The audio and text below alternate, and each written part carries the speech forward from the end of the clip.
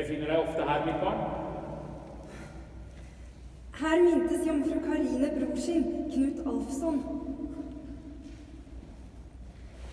Også jeg søker ofte trøst i dette sted. Jeg vil hente styrke her, før danskekongens hær ankommer. Jeg er truet la meg tre dagers frist. Borgen er godt rustet, bismogens. Mordet på Knut Alsson, det var Norges tap. Det er bare et år siden jomfru Karine døde. Gud bedre oss alle. Jeg skulle ønske hun fremdeles ropte på meg. Hun ga oss travle dager, men bak strengheten så jeg trofasthet og mot. Jeg ærer Knut Alfsson og minnes jomfru Karine. Hele sitt gods skjenket hun kirken og meg. Margrethe, du var jo Karines fortrolige. Deg kan jeg stole på. Trud Ulfstand, det er en mektig mann. Han er kongens mektigste mann i Norge. Han vet hva han vil. Ja, visste du at han er gift med Knut Alfsons datterdatter? Men hun står først i ar arverekken etter jomfru Karine. Ja, du vet, Giskegodset og Grefsheim, det er store rikdommer. Men jomfru Karine testamenterte jo alt sitt gods til kirken og deg. Nettopp. Og nå tror jeg nok at herr Truid vil ha det han mener er hans, eller etter hans kones. Kanskje jeg kan gi ham nettopp det? Ja, jeg byr ham jomfru Karines gavebrev. Mye kan ennå reddes. Karine! Min Karine!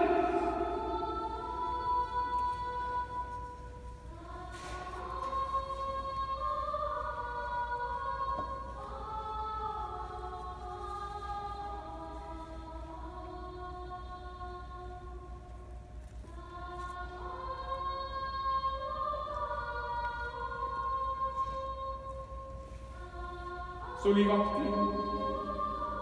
Ikke en time går uten at jeg ser deg for meg.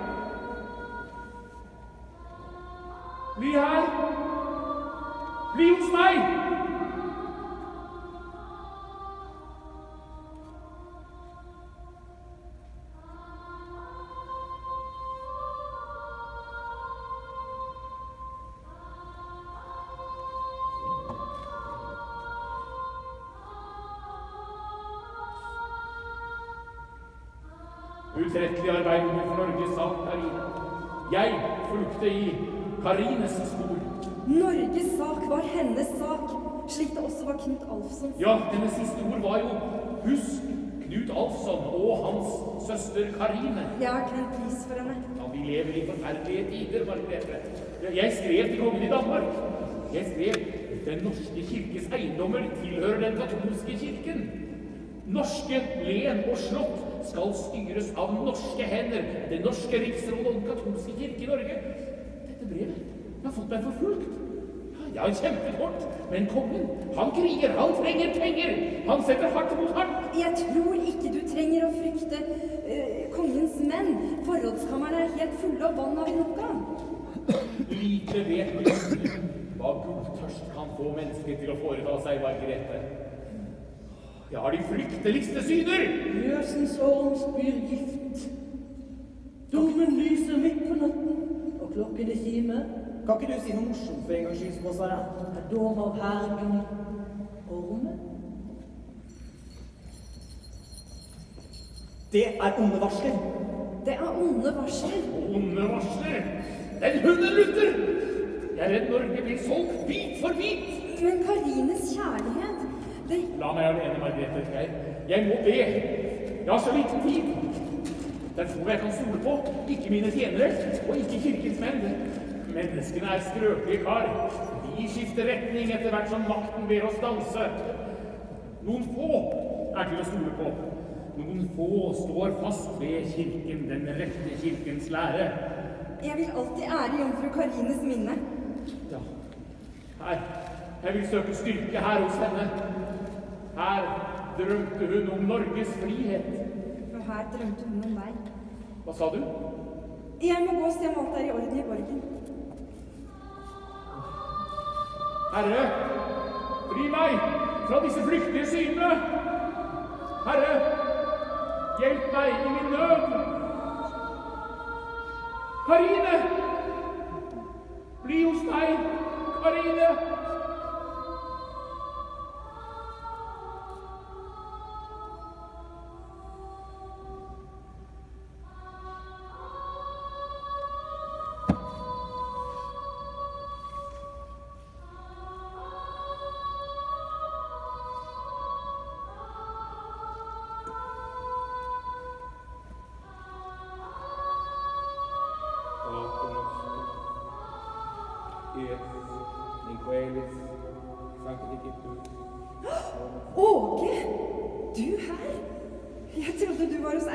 Erkebiskopen i Nidaros. Jeg er her med Trinnvids menn. Jeg kunne ikke få se deg fort nok, så jeg red i forveien. Tiden har vært lang uten deg. Jeg har ventet. Det er som om alle lurer på hverandre, og ingen vet hva som kommer til å skje. Hvordan skal det gå med oss to, tror du? Ikke spør. Ingenting skal skille oss, Margrethe. Du snakker så rart. Jeg vil ikke at noe skal hende oss. Hvis Mogens har befestet hele borgen Ja, og skaffet forråd for lange tider. Du vet visst mye, du, Margrethe. Ja, jeg tjente hos jomfru Karine, og hvis Mogens han stoler på meg Ja, vi har fylt opp forrådskamrene med minst eh, 60 oksekropper, 120 klippfisk, 50 oster, og våpen og kanoner og krutt og armbrøst. Jeg må vite alt om jeg skal være til nytte. Ja, og hvis som han har fått satt opp spisse stokker rundt hele borgen, så ingen hester kan ri gjennom minst 160 stykker. Ta det med ro. Og den hemmelige inngangen til borgen. Vet du noe om den? Ingen får vite noe om den. Jeg har sverget. Ikke bli sint, Åge. Du vet jeg aldri kan bli sint på deg, Margrethe. Det blir visst ikke lyst ut bryllup for oss i sommer heller, Åge. Mist ikke motet, Margrethe. Jeg kjenner folk som kan hjelpe. Hold deg til meg. Noen kan se oss. Herra, exemptum, et capellorum. Amen. Året er 1537, Og vi er i Hammers katedral.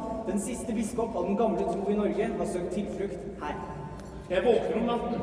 Jeg ser domen lyse, jeg hører klokkene skime. Olav Engebrettsson sendte bud og sa jeg måtte slutte meg til ham hvis jeg ville berge livet. Ditt kall var her på handel. Det gjelder kirkens rette lære. Det gjelder Norges selvstendighet. Jeg ser jomfru Karine. Ormen skal sluke oss. Fråden står om ormens munn. Jeg ber om råd, ikke om gåter. Ormen er nærmere enn du tror. Fråden står om ormens munn. Ormen, eit, ormens eite vil kvele oss. Mer kan jeg ikke si.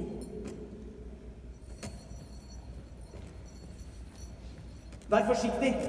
Din tale skal være ja, ja og nei, nei. Vær listig som slangen og enfoldig som duen. Jeg er redd Norge blir solgt, bit for bit. Åge, min venn.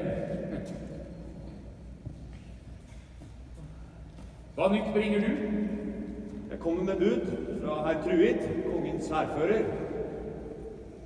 Biskopen må overgi seg frivillig, eller han setter fyr på borgen. Det gjør han ikke. Kirken har mektige støttespillere i Europa. Erkebiskop Olav Engelbrektsson rømte fra Nidaros før Truids soldater kom. Hellige jomfru, nei! Olav Engelbrektsson så seg alltid om etter utveier. Også du har snudd kappen med vinden noen ganger for ofte, herr Mogens. Fuck it! Hvor du kjetternes ære! Skal jeg høre dette fra deg, Åge? Min egen svenn. Jeg har selv lært deg opp. Det er nye tider, herr Mogens. Gud er herren i Aternium Aternitas. Det er nye herrer i landet! Orm! Eimen kveler meg. Sviker! Vi lovet hverandre trofasthet. Margrethe. Vi lovet hverandre trofasthet på Grefsheim Åge Pedersen. La ikke dette komme mellom oss. Jeg gjør det jeg må. Jeg vil ikke ha en svikete mann. Herr Kruvik står på Furuberget med sine soldater, forstår du det? 1500-tallet! Dette er alvor, Margrethe! Han har kroppen vil inn! Han har ikke løst billett! Men han sier at han vil sprenge borgen, og at han har en eh, hær oppe i Fugleberget. Hva er det? Hæ? Flere kryss? Jaså, er det ikke mer avtale? Altså, vi er midt i en, en forestilling her. Og det her Det er mer enn lys nok her, skulle jeg mene. Der kan komme tegn på gulvet. Og der er Gudsprisen her er ifra 1152. Og kanskje føri der, for alt jeg vet.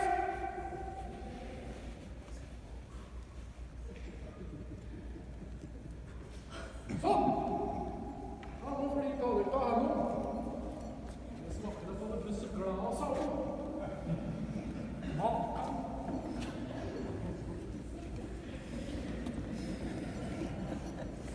Tiden er eh, ute, Mogens Lauritzson. Jeg har eh, ventet på svar. De behøver ikke å behandle meg som en ussel tyv, herr druer. Kong Kristian har gitt sin ordre. Han er redd du skal flykte ut av landet, slik erkebisk Olav Engelbrektsson til Nidaros gjorde. Og som hevn for nå kong Kristians soldater herje fritt langs kysten fra Møre og helt nord. Er det slik dere vil ha det?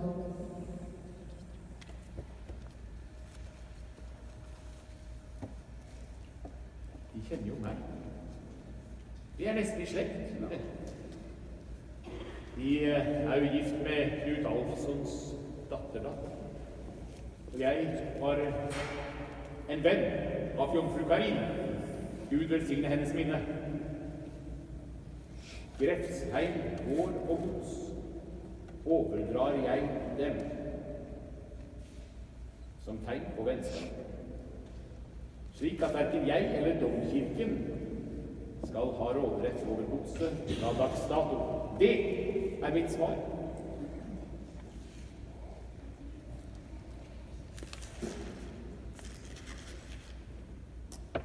Ja, det er vel ikke mer enn rett og rimelig. Min kone har allerede Men da forventer jeg en annen opptreden fra dem. Kongen vet at du og erkebiskopen prøvde å sette det norske riksrådet opp mot ham, men de falt fra én etter én. Så prøvde dere å få tyske keiseren til å satse på falsgreve Friedrich som konge i Norge, siden han er katolikk, og dessuten gift med datter til Kristian 2. Et smart trekk. Er det rart kongen er forbannet og vil sikre seg deg før du gjør mer skade? Luther er en vantro, og det norske riksrådet har aldri godkjent Kristian 3. som konge. Du er kongens siste motstander i Norge. Jeg vil ha en oversikt over alt borgen rommer. Ingen av kongens eiendeler må forsvinne. Jeg kjøpslår ikke om Norges riksråd. Det er latterlig. Mine nye kanoner knuser borgen din. Og vi deg, bispe Mogens. Jeg kimte med klokkene. Hammers borgere lot meg stå alene igjen. Hammers borgere vil ikke beskytte deg eller kirken. Du har vel skattlagt dem for hardt, tenker jeg, og ingen rører bondeluten ustraffet. Men du har en sjanse til å berge livet. Her, Mogens. Det jeg har gjort, har jeg gjort. For å redde den rette lære. For å berge Norges riksråd. Læren og riksrådet, der kan jeg ikke vike. Rett lære var det, da. Forsverg din tro og gi kong Kristian den tredje av Danmark din troskap! Dere er djevelens barn. Jeg har alltid vært lojal mot den katolske kirke. Siden vi nesten er slektninger, skal jeg gjøre deg en eh, tjeneste. Jeg skal be kongen ikke henrette deg. Troskap mot kirke og land har alltid veid tyngre for meg enn maktens menn. Dere har tapt! Leve Luther! Før han går. Leve kong Kristian den tredje og eh, Grefsheim-gods. Det er mitt. Jeg skal nok hjelpe deg. Såpass skylder jeg deg. Norges selvstendighet henger sammen med Norges riksråd.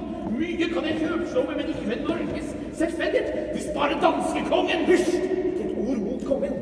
Kan ikke la en forræder forlate stedet. Om du blir med meg, kan jeg redde deg, Margrethe. Jeg vil ikke ha en mann som med våpen i hånd bryter kirkens fred. Jeg ga deg hjertet mitt, og nå vender du oss ryggen. Kirken, hvis mogens meg. Det gjelder oss to. Jeg lover trofasthet til en mann som viser seg utro. Det gjelder livet, Margrethe. Hvis mogens, la meg følge deg. Nei! Margrethe! Å, Gud velsigne din sjel, mitt barn. Gud velsigne oss alle. Og Gud signe Hammerby og Norges rike. Og jeg velsigner hver stund jeg har tilbrakt i denne byen over min vakre dom. Jeg vil be byen be for meg til jeg kommer tilbake. Og for jomfru Karine. Min Karine og Gud! Hvis vi ikke møtes før, så møtes vi vel i himmelriket. Farvel. Lev vel. Vale, min borg. Vale, min strålende, vakre dom. Og alle mine elskede.